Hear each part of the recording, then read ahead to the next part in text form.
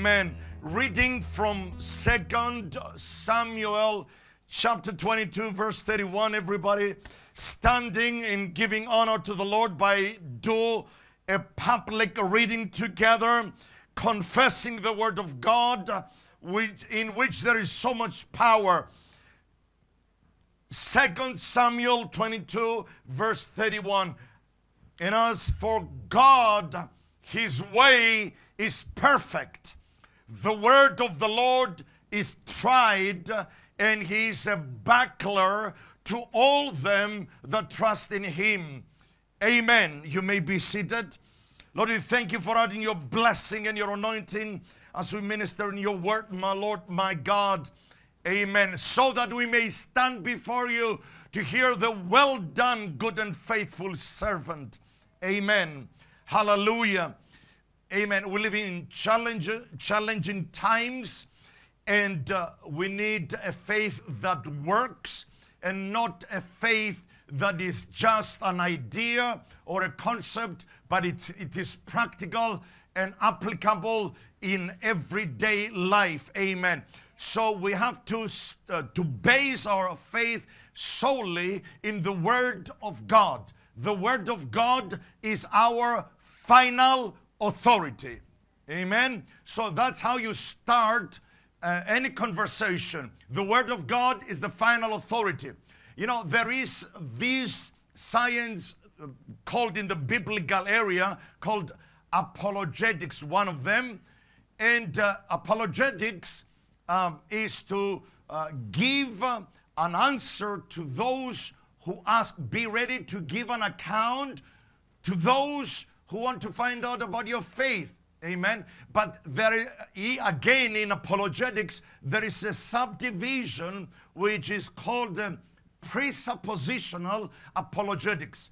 Presuppositional apologetics means we don't start the conversation apart from the Bible because the other person will be offended we start by presupposing that the Bible is the Word of God. You want my opinion on that, which is God's opinion? There is no reason to argue with anybody without the Word because you're trying with your, with your own efforts. And again, there are those believers that they use apologetics, uh, regular apologetics, not, pre, not presuppositional, to try to to try to deal with their questions and everything. But without the written word, you don't have the help of the Holy Spirit. Amen. But to presuppose that this is the word of God and I speak with authority, it is authoritative, not authoritarian, but authoritative with authority. It has authority. For example, you know, we, we talk about um, the books of the Bible and the canon of the Bible, canon of the Bible, ο κανόνας της βίβλου, which means simply uh, χάραγκας, uh, ρίγα όπως το λέμε στην Κύπρο, χάραγκας ή μέτρον, μέτρον, it's a measure, amen. So uh, the canon are uh, the 39 books of the Old Testament and 27 in the New Testament.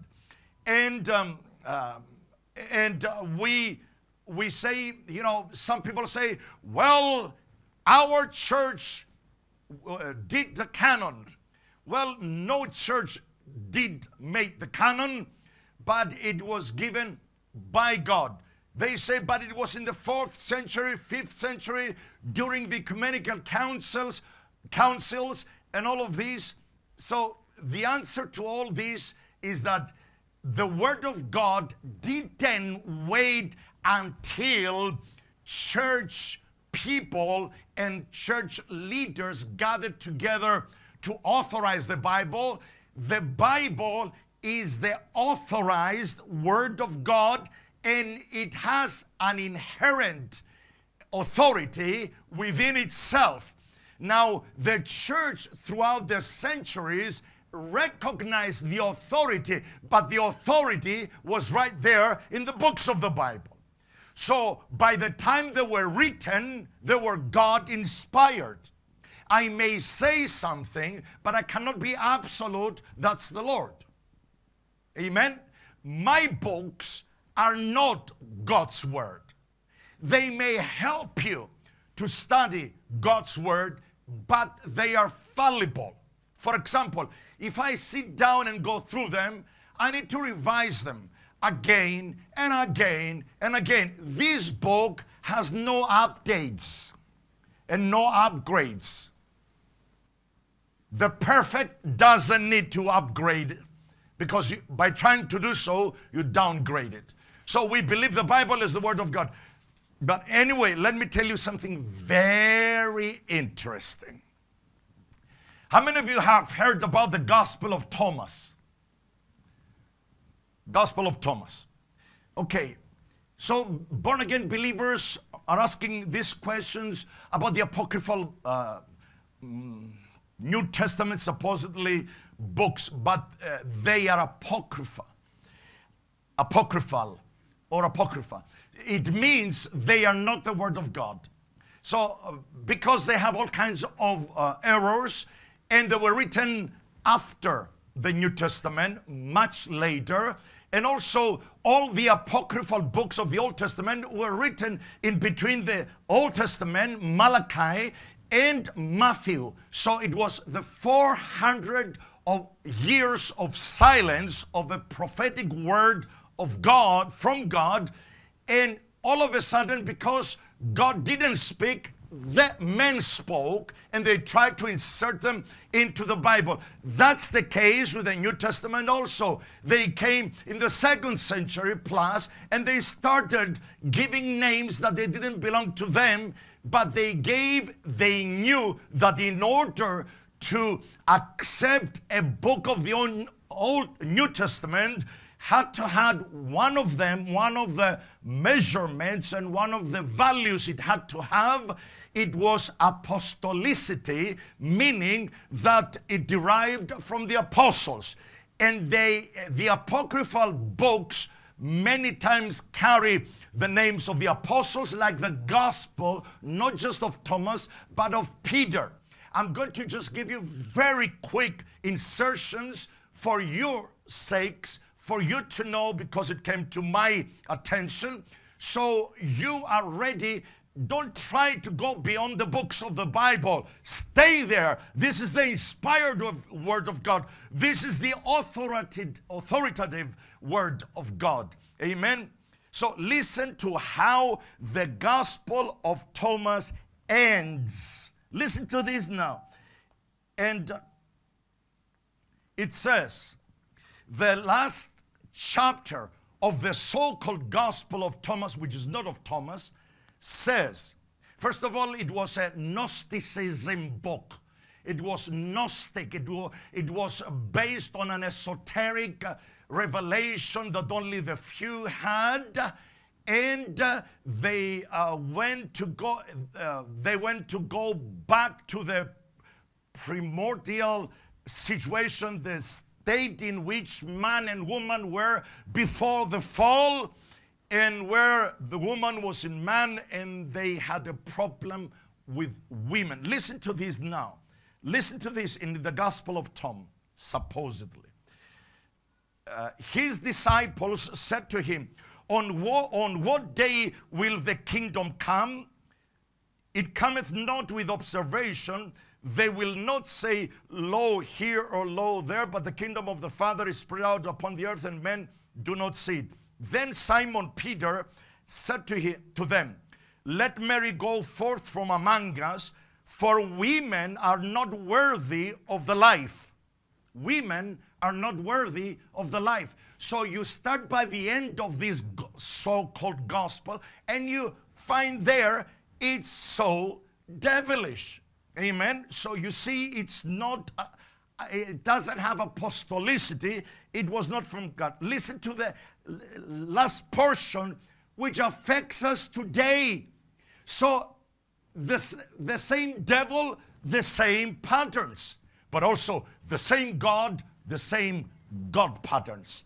And I want you to be able to discern. Now, listen to this. Behold, I shall lead her that I may make her male, in order that she also may become a living spirit like you males. For every woman who makes herself male shall enter into the kingdom of heaven.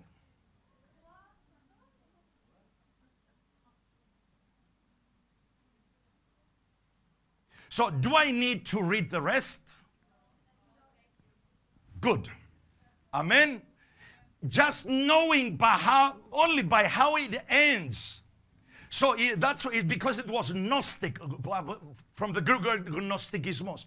So that's why they mentioned the Lord Jesus not dying on the cross, but an angel came in his place, and all of this nonsense that the Muslims take and build their theology from the Gospel of Thomas. So you see all of these things, and now we have all these transgender. There is only one word, biblical trans, and we are all transgressors. We all have transgressed paranomizame. We all have transgressed the word of God. And we need to come back and be born again by the Spirit of the Lord. Now, this is the Gospel of Thomas. So Take it out of the way. Now, the Gospel of Peter, the Gospel of Peter supposedly men, uh, shows, but you, you may find some good things, and believers saying, why not accepting it? That's why.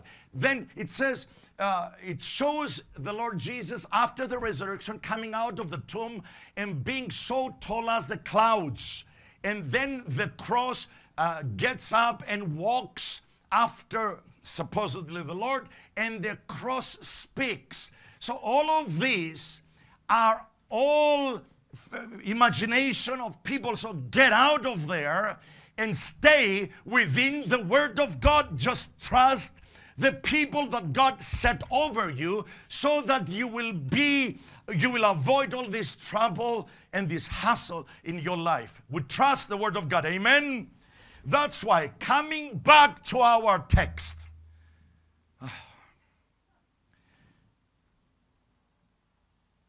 Verse 31, 2 Samuel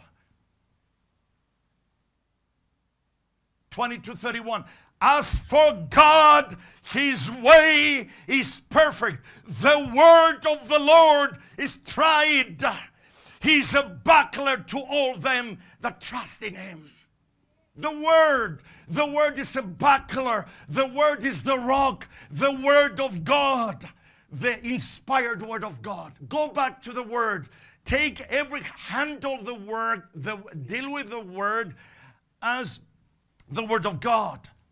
Can we go please to Second Thessalonians chapter 2 verse 13 there is so much power in receiving the word of God as the word of God. Second Thessalonians chapter 2 and verse 13 Paul says to the Thessalonians that I was so glad that you received the word as the word of God as it truly is. But we are bound to give thanks, uh, uh thanks always to God for you, brethren, beloved of the Lord, because God hath from the beginning chosen you to salvation through sanctification of the uh, belief of the truth. Sorry, go, go to First Thessalonians 2.13, not second. Bless the Lord for this verse too. First Thessalonians 2.13. First Thessalonians 2.13, for this cause also thank we God without ceasing, because when ye received the word of God, which ye, heard of us, you, you see, you have to be able to discern this is the word of God that you received from us. It says here that uh, you received you received it not as the word of men, but as it is in truth, the word of God, which effectually worketh also in you that believe. It effectually works in you, energy.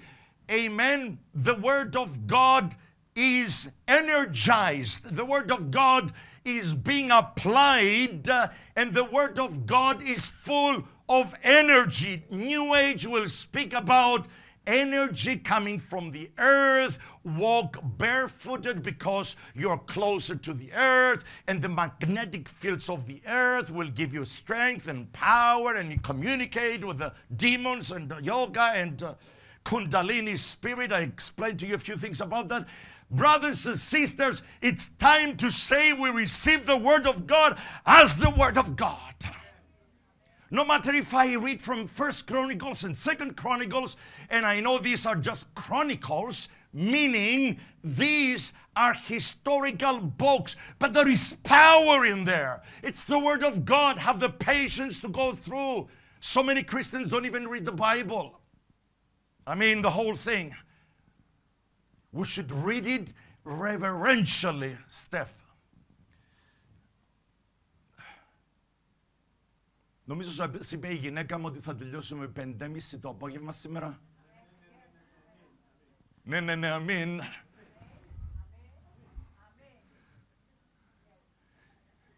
Στις 12 φεύγουν οι μισοί. 12 και 10 η άλλη μισή. Γυρίζω από εδώ και αρχίζω. Μια καινούργια ανακοίνωση. If there is a move of the Spirit, you can go, get up and go, but we will continue. That's it. Okay. So, amen. As for God, his way is perfect. Amen. It effectually works in your life. Oh.